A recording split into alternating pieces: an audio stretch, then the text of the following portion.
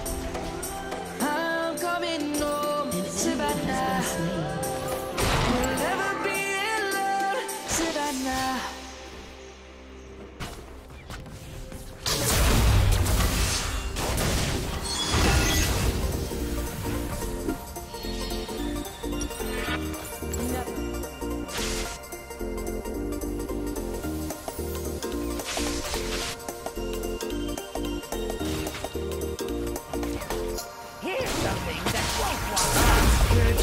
It's been 700 degrees in here since you came in. I could swear that this room has been running out of air, and now it's starting to spin.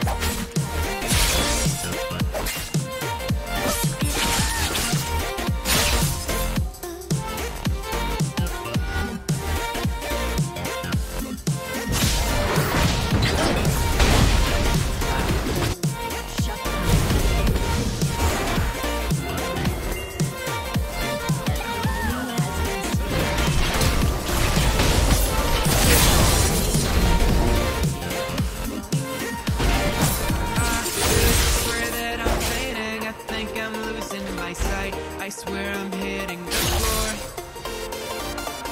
I could swear that my stomach just sunk a meter. I'll be dead if I take any